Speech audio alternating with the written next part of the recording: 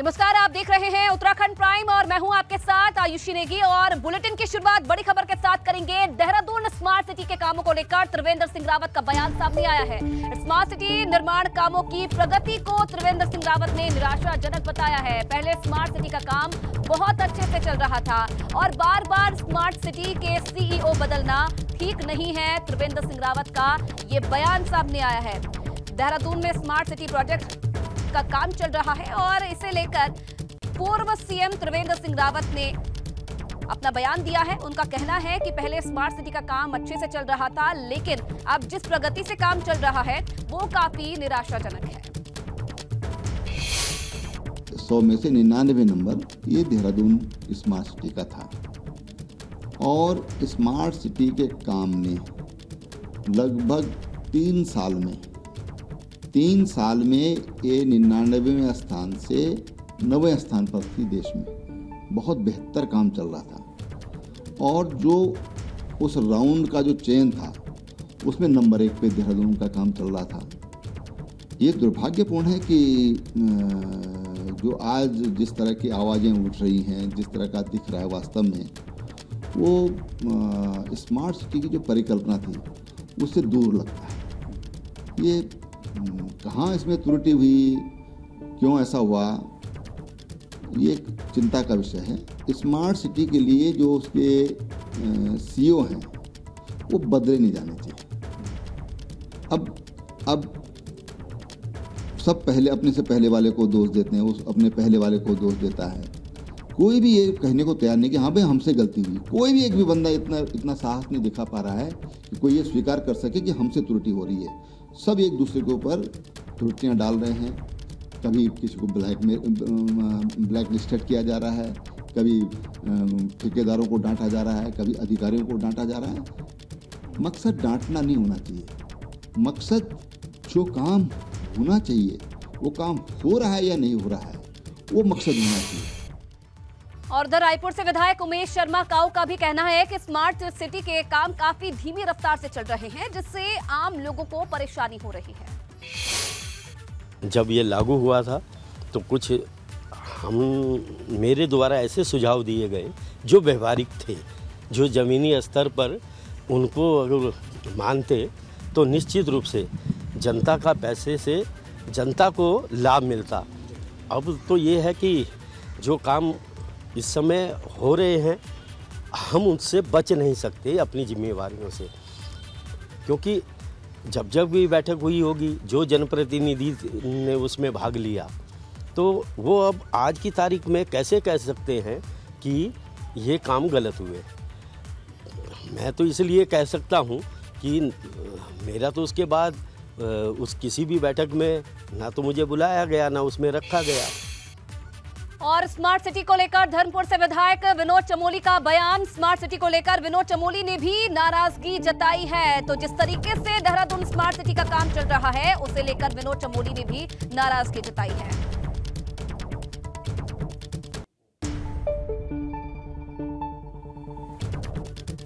आज से नहीं 2008 के जब मैं मेयर बनाई था, उसके बाद से मैंने लगातार इस बात को कि हम्म, आगे बढ़ाया है और ये मीडिया में भी चला और जब स्मार्ट सिटी का निर्णय हो रहा था जब मैं उस निर्णय पर पहुँचा था तो उस समय मेरे मन में यही था कि इसको लेकर एक कोई बड़ा हम काम यहाँ पर करते हैं।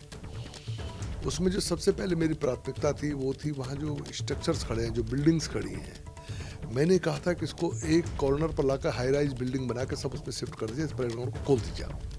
क्योंकि हमारा शहर का लंग्स है ये बेसिकली तो इसको आप खोल दीजिए। आज मैं देख रहा हूँ कि बिल्डिंग्स कम करने के बजाय और ज़्यादा हो गई हैं। तो त्रिवेंद्र सिंह रावत के बयान के बाद कांग्रेस भाजपा सरकार पर हमलावर हो गई है। कांग्रेस का आरोप है कि ना तो त्रिवेंद्र सिंह रावत के कार्यकाल में और ना ही किसी और सीएम के कार्यकाल में दून में कोई बड़ा काम हुआ है। पूरी बीजेपी इसके लिए दोषी है मैं किसी एक व्यक्ति को नहीं कहता।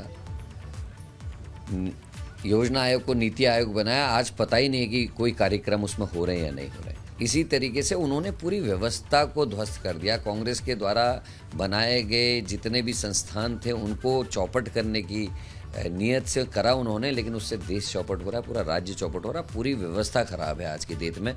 कोई किसी की सुनने को नहीं है, सरकार में कोई आपस में कोऑर्डिनेशन नहीं दिखता है, ना ही प्रशासन में कोऑर्डिनेशन दिखता है। बहुत बुरे हालात इस राज्य के समय हो गए ऐसा लगता है कि कोई शासन चल ही नहीं रहा। मेयर तो भारतीय जनता पार्टी का है। इसका मतलब पहले वाला मेयर ठीक काम कर रहा था, आज वाला जो मेयर है वो गलत काम कर रहा है। लेकिन एक ही व्यक्ति मेयर है और मेयर का टिकट भी त्रिवेंद्र सिंह रावत जी का दिया हुआ टिकट है। त्रिवेंद्र सिंह जी का खास आदमी है, सुनील उनियाल गामा। तो ये विरोधाभासी बयान जिस तरीके का आ रहा है, ये सरकार की असफलता का पोल खोलता है। वास्तव में स्मार्ट सिटी में कोई काम नहीं हुआ, चाहे त्रिवेंद्र सिंह जी का कार्यकाल रहा हो चाहे तीरथ सिंह जी का कार्यकाल रहा हो, चाहे आज धामी जी का कार्यकाल रहा हो, आप दून की सड़कें देख लीजिए, सारी सड़कें खुदी हुई हैं, नालियाँ चौक पड़ी हैं। कहीं पर कहीं कोई व्यवस्था नहीं है, बिजली के तार आपके नंगे तार झूल रहे हैं जगह जगह पर अव्यवस्था ही अव्यवस्था है। और जो दून का असली स्वरूप था, स्मार्ट सिटी प्रोजेक्ट के लागू होने के बाद, चालू होने के बाद देहरादून का जो असली स्वरूप था, उसको भी बिगाड़ने का काम इस सरकार ने किया है। तो त्रिवेंद्र सिंह रावत के बयान के बाद अब कांग्रेस भी सरकार पर हमलावर हो गई है। उनका कहना है कि ना तो त्रिवेंद्र सिंह रावत के कार्यकाल में और ना ही तीरथ सिंह रावत और ना ही पुष्कर सिंह धामी के कार्यकाल में कोई काम हुआ है। कांग्रेस इस तरीके के सवाल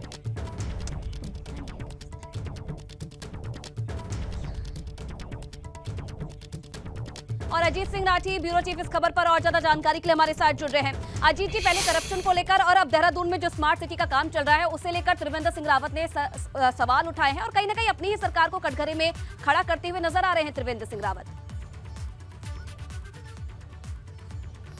बिल्कुल आयुषी, आपने बहुत सही बात कही है। तो कि हम भी एक चीज़ की कल्पना तो करते ही हैं, सभी लोग मिलकर, के किसी भी राज्य की राजधानी हो वो खूबसूरत होनी चाहिए। और देहरादून तो बिल्कुल नहीं है, और स्मार्ट सिटी का जब प्रोजेक्ट यहाँ प्रधान, प्रधानमंत्री ने दिया था, उस समय त्रिवेंद्र सिंह रावत मुख्यमंत्री थे, और उनके कार्यकाल में तीन साल स्मार्ट सिटी का काम चला। अब त्रिवेंद्र सिंह रावत आज इस बात को कह रहे हैं कि भाई वहाँ पर कोई काम नहीं हुआ और पहले तीन साल में रैंकिंग बहुत ऊपर थी, बहुत अच्छा काम चल रहा था, लेकिन पब्लिक को राहत तो तब भी नहीं मिली, रैंकिंग तो सरकार को मिली होगी। इसके बाद तीरथ सिंह रावत आए और इसके बाद पुष्कर धामी एक साल से मुख्यमंत्री हैं। तो अगर स्मार्ट सिटी के काम नहीं चल रहे हैं, ये तो एक असली चीज़ है, लेकिन ये जो त्रिवेंद्र सिंह रावत के बयान से जो एक नई पटकथा तैयार हो रही है स्मार्ट सिटी के नाम से, ये भारतीय जनता पार्टी के भीतर जो एक इंटरनल कॉन्फ्लिक्ट चल रहा है, एक इंटरनल डिस्प्यूट चल रहा है, जो एक राजनीति भीतर भारतीय भारतीय जनता पार्टी के भीतर हुई, भाजपा वर्सेज भाजपा हो रही है। ये उसका ट्रेलर है, ये उसकी पिक्चर है, जिसको देखकर भारतीय जनता पार्टी का कार्यकर्ता वाकई चिंतित हो सकता है। लेकिन सच बात यह है कि न त्रिवेंद्र सिंह रावत के कार्यकाल में और न आज पुष्कर धामी के कार्यकाल में स्मार्ट सिटी का कोई काम ऐसा नहीं हो रहा है, जिस पर लोगों को राहत मिल सके। कोई काम कागजों में पूरा हो रहा है, कोई काम सड़क की खुदाई करके पूरा हो रहा है, लेकिन पब्लिक को राहत मिलती यहाँ पर नहीं दिख रही है। स्मार्ट सिटी के नाम पर देहरादून पूरा डर्टी सिटी बन गया है और एक राजधानी का चेहरा जैसा होना चाहिए, वैसा नहीं है। ट्रैफ़िक जाम से लेकर सड़कें खुदी पड़ी हैं।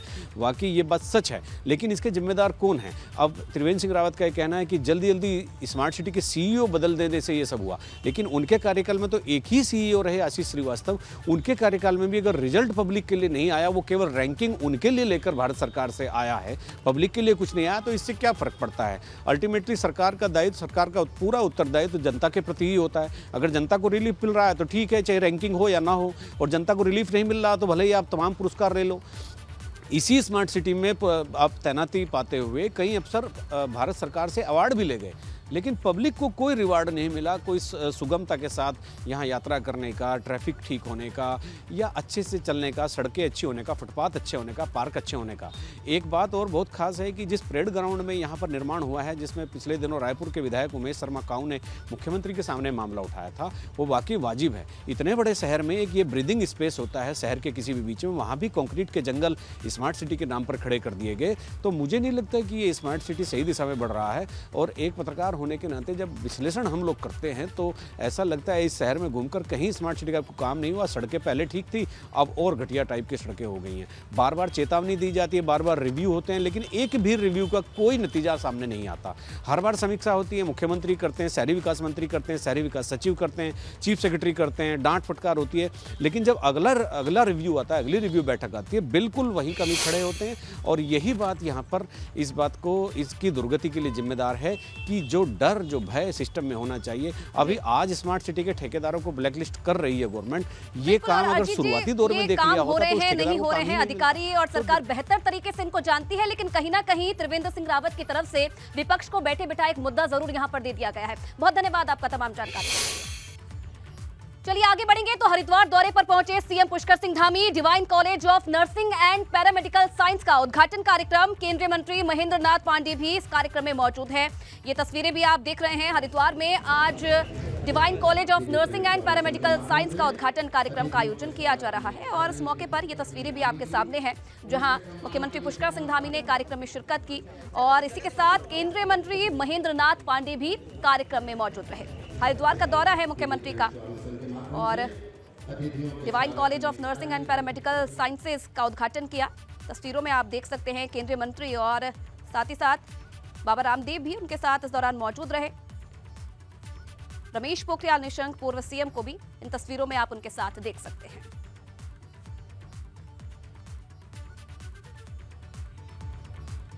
तो हरिद्वार के दौरे पर पहुँचे सीएम पुष्कर सिंह धामी, यहाँ पर ये तस्वीरें आप देख रहे हैं, जहाँ कार्यक्रम में उन्होंने शिरकत की। तो सीएम पुष्कर सिंह धामी ने एक बार फिर से कर्मचारियों को नसीहत दी है। सीएम ने कहा है कि कर्मचारी घड़ी देखकर काम करने की आदत में सुधार लाए।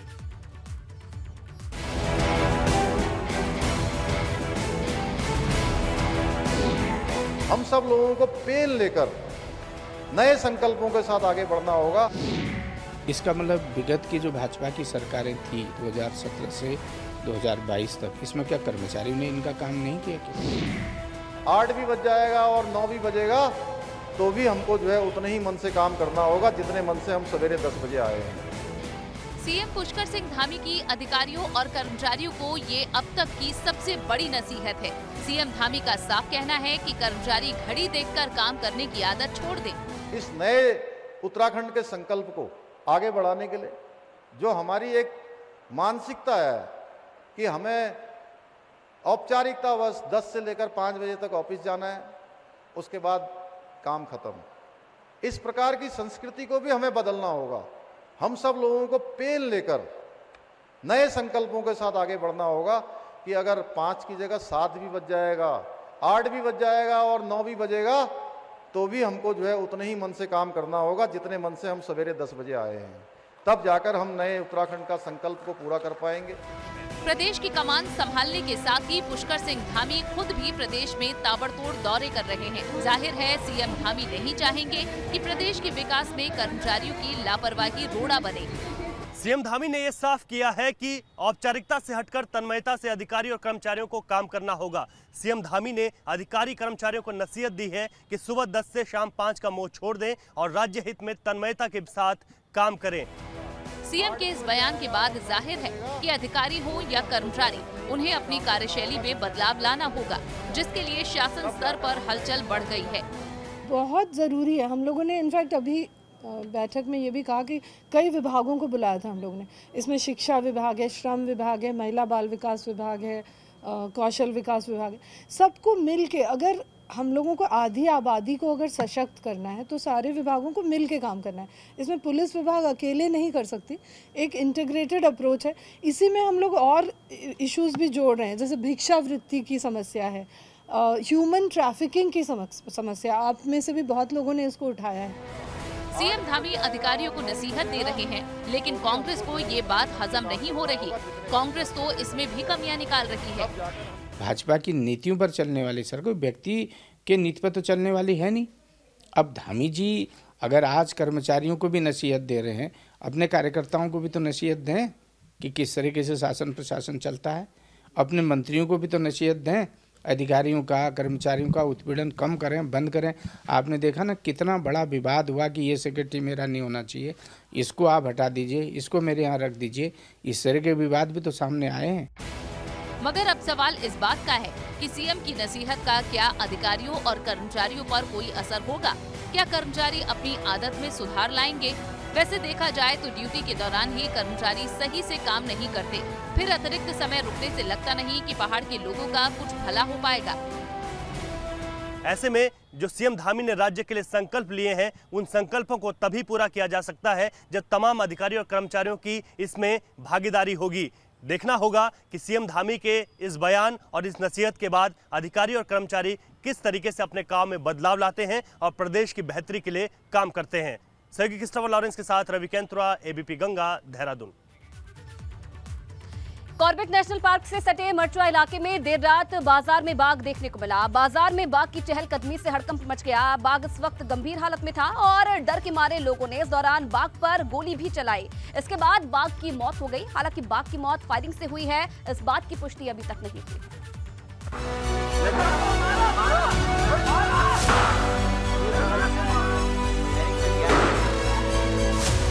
कॉर्बेट से सटे इलाके में दहशत है। एक बाघ आबादी वाले इलाके में आ घुसा है, जिससे लोगों में अफरा तफरी का माहौल है। ये तस्वीरें कॉर्बेट से सटे मरचुला इलाके की हैं। लोगों ने जैसे ही बाघ को देखा, दहशत मच गई। इस बीच बाघ लोगों की तरफ़ बढ़ने लगा। एक पल के लिए तो लगा कि ये बाघ किसी की जान ही ले लेगा।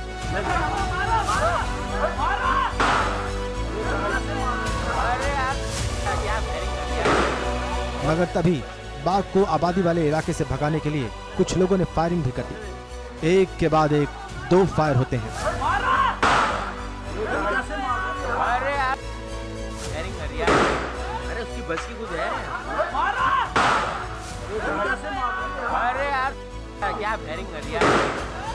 बाघ डर जाता है तो वहाँ से दूर चला जाता है। अब इस तस्वीर को देखिए।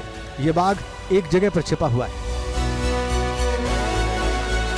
कुछ लोग कह रहे हैं कि बाघ बीमार था जिस वजह से वो सही से चल भी नहीं पा रहा है। इस घटना के कुछ देर बाद ही बाघ की मौत की खबर आती है। अब कॉर्बेट प्रशासन इस बात की जाँच कर रहा है कि बाघ की मौत हुई कैसे।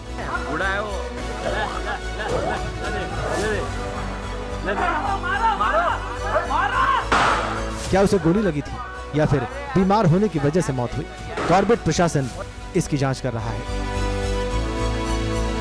एबीपी गंगा के लिए रामनगर से दानिश खान की रिपोर्ट। आगे बढ़ेंगे। रामनगर में कॉर्बेट नेशनल पार्क का ढिकाला जोन आज से पर्यटकों के लिए खोल दिया गया है। ढिकाला जोन पिछले पाँच महीने से बंद था। हर साल 15 जून को Corbett national park Dhikala zone पर्यटकों के लिए पूरी तरह से बंद कर दिया जाता है और पाँच महीने बाद 15 नवंबर को खुलता है। कॉर्बेट पार्क में सबसे ज़्यादा पर्यटक ढिकाला जोन आना पसंद करते हैं और जोन में कॉर्बेट नेशनल पार्क की बायोडाइवर्सिटी के साथ साथ सबसे अधिक संख्या में बाघ भी पाए जाते हैं, जिन्हें देखने देशी विदेशी पर्यटक पहुँचते हैं। बहुत अच्छा महसूस हो रहा है। हम हमें हमारे अंदर भी बहुत खुशी है हम देखने जा रहे हैं। क्या क्या सोच लेके जा रहे हैं अंदर? टाइगर देखने के लिए गए जा रहे हैं चित्ता कुछ भी जो बच्चे खुश हैं बच्चे बोले हमें जाना है जा रहे हैं। और आज से राजा जी टाइगर रिज़र्व को सैलानियों के लिए खोल दिया गया है। पार्क के गेट खुलते ही जंगल सफारी की शुरुआत हो गई है। अब सैलानी 15 जून तक जंगल सफारी का लुत्फ उठा सकेंगे। तो तस्वीरें आप देखिए, उस वक्त की तस्वीरें हैं जब राजाजी टाइगर रिज़र्व को आज पर्यटकों के लिए खोल दिया गया और बड़ी संख्या में जो पर्यटक हैं आज पहले दिन नज़र आए राजाजी टाइगर रिज़र्व खुलने पर। और आज से जो वन्य जीव है, उनका दीदार कर पाएँगे पर्यटक। तस्वीरें भी आप देख रहे हैं। पर्यटकों की बड़ी संख्या आज पहले दिन ही देखने को मिली। साथ ही साथ जो स्कूली बच्चे थे, वो भी इस मौके पर आए। तो 15 जून तक राजाजी टाइगर रिज़र्व पर्यटकों के लिए खुला रहेगा।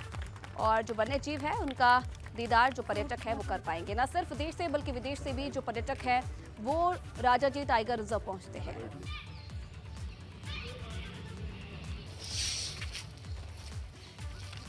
तो 15 जून तक के लिए पार्क के गेट खोल दिए गए हैं और आज से जो सफारी है, उसकी भी शुरुआत हो गई है। उत्तराखंड में नौकरियों का पिटारा खुलने वाला है, क्योंकि उत्तराखंड चयन आयोग के सचिव का दावा है कि वो किसी भी भर्ती के लिए परीक्षा कराने को तैयार है। हालाँकि इंतज़ार अभी शासन के प्रस्ताव का है। और ऐसे में अगर शासन प्रस्ताव भेजता है तो ज़ाहिर है युवाओं के लिए रोज़गार बहाल होगी।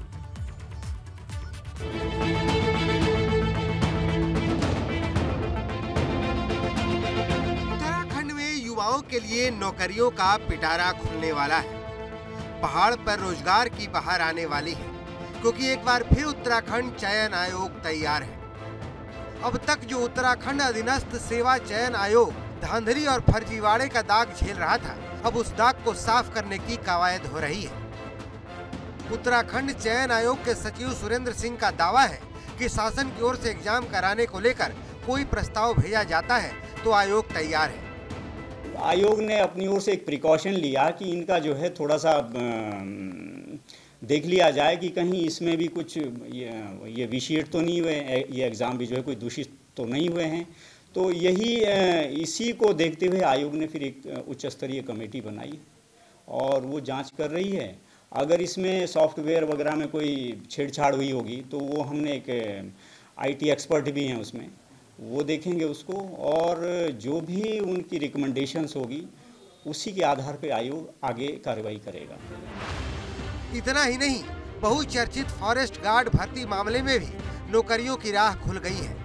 नकल के मुकदमे से मरी कई अभ्यर्थियों को नौकरी दी जाएगी। शासन से मंजूरी मिलने के बाद आयोग ने अभ्यर्थियों को दस्तावेजों के सत्यापन के लिए बुला लिया है। दरअसल फॉरेस्ट गार्ड भर्ती में ब्लूटूथ से नकल करने का मामला सामने आया था। जिसमें पुलिस ने सैतालीस युवाओं को आरोपी बनाया था। इसमें नौ अभ्यर्थी ऐसे थे जो शारीरिक परीक्षा के बाद अंतिम मेरिट लिस्ट में पहुँचे थे। आरोपों के चलते इन अभ्यर्थियों के अलावा अन्य को नियुक्ति दे दी गई थी।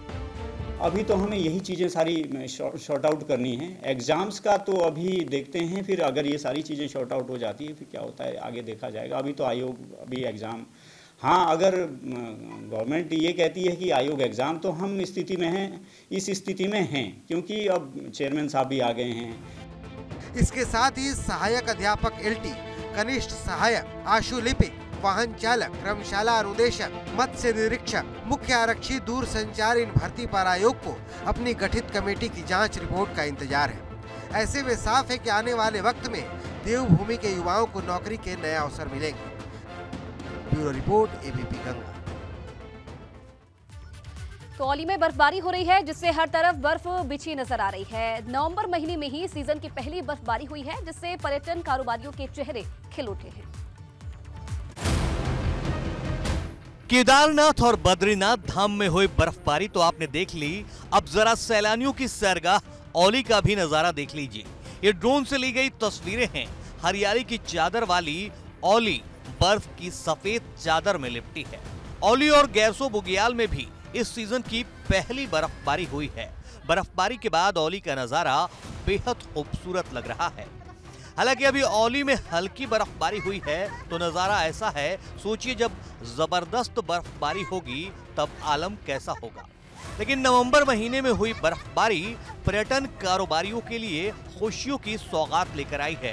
तभी तो देखिए स्थानीय लोग सीज़न की पहली बर्फबारी का दिल खोलकर स्वागत कर रहे हैं। स्थानीय लोगों को उम्मीद है कि इस बार भारी बर्फबारी होगी, जिससे पर्यटकों की संख्या बढ़ेगी। औली में 10 नंबर टावर से और कृत्रिम झील तक हल्की बर्फबारी हुई है। इस साल वक्त से पहले हुई बर्फबारी से आगे अच्छी खासी बर्फबारी की उम्मीद भी जगी है। इसलिए 2 से 8 फरवरी तक होने वाले नेशनल स्कीइंग चैंपियनशिप और अंतर्राष्ट्रीय स्तर की फेस रेस के सफल आयोजन की उम्मीदें भी परवान चढ़ने लगी हैं।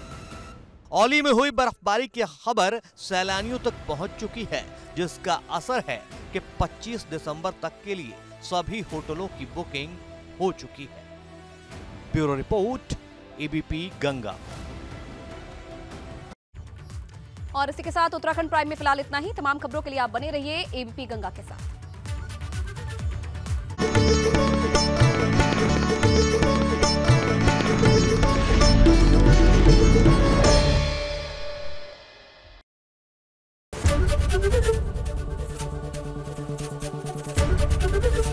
एबीपी गंगा, खबर आपकी जुबा आपकी।